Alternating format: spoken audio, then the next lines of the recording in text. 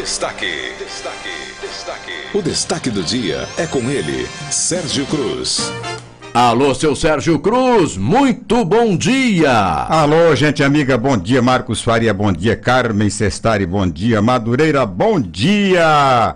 Só alegria, Madureira. Ó, Madureira, hoje não tem Madureira, mas é, fevereiro tem. Fevereiro recomeça a atividade parlamentar, a atividade legislativa em Campo Grande.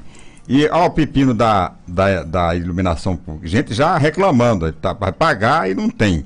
Ficamos seis. Pessoal folgou durante seis meses, né, por conta de uma decisão da Câmara Municipal, sem pagar a, a, a tarifa ou a taxa de iluminação pública. A prefeitura aproveitou que não estava recebendo a taxa como desculpa e não investiu em iluminação pública e a cidade está às escuras. Esperar que agora o novo prefeito invista os 50. Onde, é, onde estão os 53 milhões de reais que da taxa de iluminação pública? O prefeito é, Marquinhos Estrada, naturalmente, vai mostrar o quanto sobrou desse dinheiro, já que me parece que houve aplicação aí na troca de luminárias, luminária fria por luminárias de LED.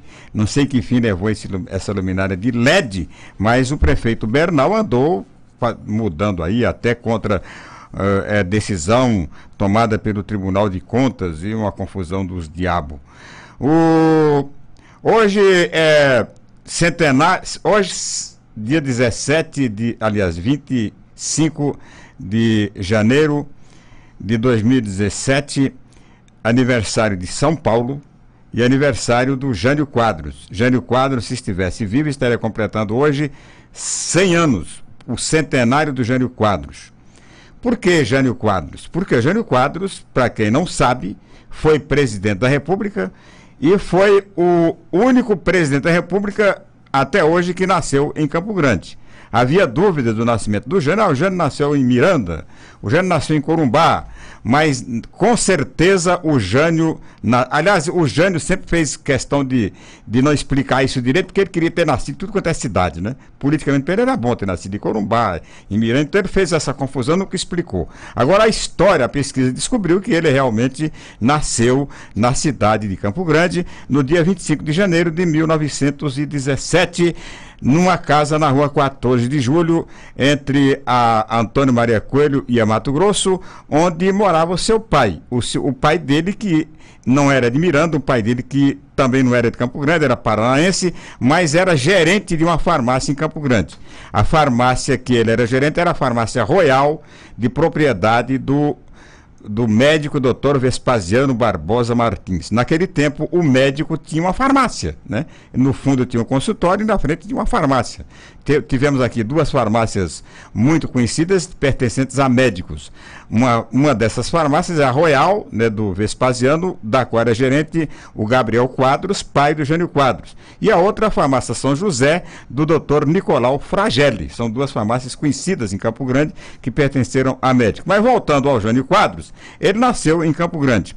O, o, o, Sil, o Jânio da Silva Quadros não existe, é Jânio Quadros mesmo, o nome dele. Esse da Silva é o nome do, da mãe dele, que por acaso foi colocado o nome dele, mas no registro de nascimento, e eu tenho aqui uma cópia do registro fornecida pelo jornalista Luca Maribondo, onde está aqui, tô, consta tudo direitinho ah, e tal. Tem a Olha cópia do, do, registro de certidão de nascimento do, do, Jânio, do Jânio Quadros. O, o Jânio foi, saiu de Campo Grande ainda muito Aliás, ele foi contemporâneo do doutor Wilson Barbosa Martins. Os dois nasceram no mesmo ano. O, o Jânio nasceu em janeiro e o doutor Wilson nasceu em junho, dia 21 de junho. No dia 21 de junho, o doutor Wilson vai completar 100 anos, espero que com vida, né? Porque está vivo ainda. São é, 100, o centenário de Barbosa Martins e, os dois, né, devem ter brincado como criança aqui nas ruas, de, pelas ruas poerentas de Campo Grande. E o Jânio foi cedo, embora daqui, foi para São Paulo. Em São Paulo estudou direito, em São Paulo foi vereador, foi prefeito de São Paulo, foi governador de São Paulo. O Jânio foi prefeito de São Paulo no, no, em 1954, nas comemorações do quarto centenário de São Paulo. O Gênio era o prefeito da cidade à época. Foi governador do estado, foi deputado federal pelo Paraná e depois presidente da República, renunciou com nove meses de, de governo. Depois, né, encerrou a carreira política dele como prefeito de São Paulo. Então, um homem que tem uma história e, sei lá o que ele pensava, se ele né? Ninguém é obrigado a concordar com o pensamento dele, com as ideias dele, mas foi um grande político brasileiro, um estadista, né? E foi filho de Campo Grande.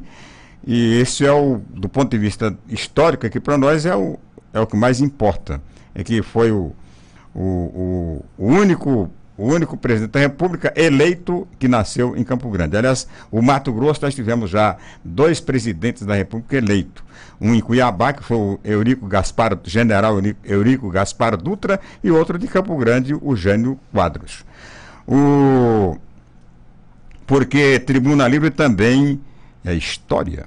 Nós falamos em rodovias ontem, é, um, um mapa né, das rodovias de Mato Grosso do Sul, não muito lisonjeiro, né, pela o estrago, né, ocasionado sobretudo pelo, pelo tempo, pela, pelas intempéries, e a gente está recebendo informações de que o, o, governo do estado já tem 4 milhões e 200 mil reais para a recuperação de duas ou três estradas mais é, degradadas aqui do, do Mato Grosso do Sul. MS 100, é, 180, que liga Iguatemi a, a Juti, a MS 156 de Carapó até Tacuru e a MS 295 entre Eldorado e Paranhos.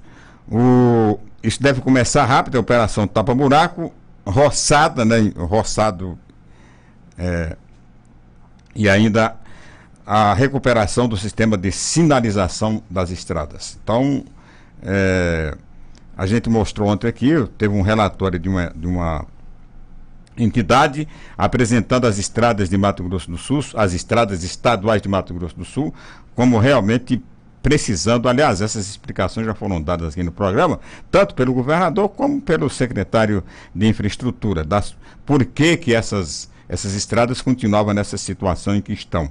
A explicação dada pelo governador são problemas de ordem burocrática, não problema de ordem é, financeira. O Estado tem condições de fazer e vai fazer a, eh, não só o tapa-buraco, mas com uma recuperação de todas essas estradas e as pontes já estão sendo construídas. O governador deve chegar nesta quinzena, no, até o final do mês, deve re, retomar o governo e vai anunciar é, outras, outras providências do seu, do seu governo, inclusive uma, uma, o anúncio aí de, de restrição financeira tal, para dar continuar enxugando a máquina para facilitar o governo e vai anunciar também o grande sucesso de sua gestão nesta nesses dois primeiros anos, que foi é, que será a reedição da Caravana da Saúde a partir de abril, já com roupa nova, né, corrigindo todos os ah, possíveis é, imperfeições da, da primeira fase,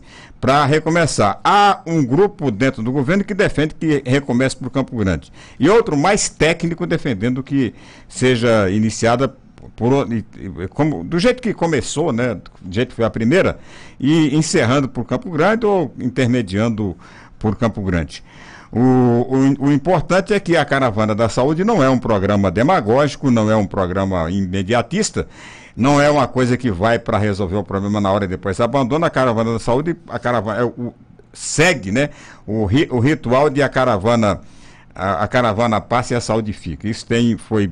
É, comprovado, a gente teve a oportunidade de ver em vários municípios do estado, a partir de Coxim, onde tem um centro de hemodiálise, Dourados e própria cidade de Campo Grande. O... A polêmica do Instituto Mirim, né? O Instituto Mirim, a prefeitura está ameaçando não, não continuar os convênios com o Instituto Mirim. Que diabo é isso com o Instituto Mirim? O Instituto Mirim foi criado aqui em Campo Grande ainda no tempo da administração do prefeito Heráclito Figueiredo. Né? E foi estimulado, foi ampliado, supervalorizado na administração do Lúdio Coelho. E as administrações seguintes, todas elas deram uma grande importância para o Instituto Mirim, pelo significado que ele tem e pelo que ele representa em termos de resultado, né, na formação de, de dessa, desses adolescentes, tal, que terminam encontrando uma boa saída para para o futuro. Aí, quando o Nelson Trade assumiu a prefeitura, o, o, Instituto era ligado à prefeitura municipal, um fundo social da prefeitura municipal. O Nelson resolveu desvincular o Instituto Mirim, criando uma, uma organização não, governal pra, não governamental para dirigi-lo. Aí o, o, o, o Nelson saiu, entrou o Bernal, e o Bernal, né, perdeu o mandato, foi cassado, mas continuou dirigindo o Instituto Mirim, porque não era ligado ao município, e sim ligado a uma ONG.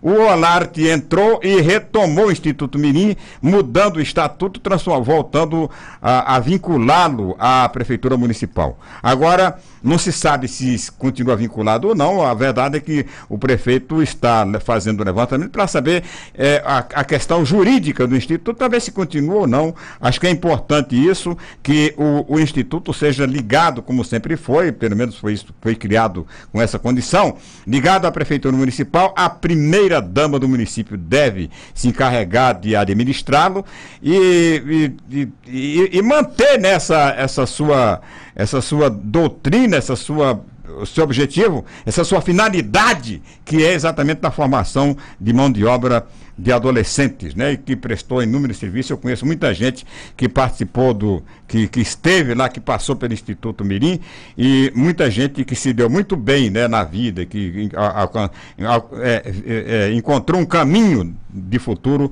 no Instituto Mirim. Não, não vamos acabar com o Instituto Mirim, mas vamos colocá-lo nos trilhos, saber de quem, afinal, quem é, de quem é o Instituto Mirim, se é da prefeitura, se é de uma organização não governamental, se compensa a prefeitura continuar investindo, acho que isso aí, esse estudo é válido e deve ser estimulado pelo prefeito Marquinhos Trade. Com relação à teoria, o Carmen Sestari, o ah a teoria, a, a teoria desmontaram a teoria da, da conspiração. A, o, o, gravador, a caixa preta, não é caixa preta, é caixa cor-de-rosa, né? Porque é um gravador cor-de-rosa. É cor-de-rosa, não é amarelo? É, é, não, é, é cor-de-rosa. Ah. Então eu estou enxergando mal.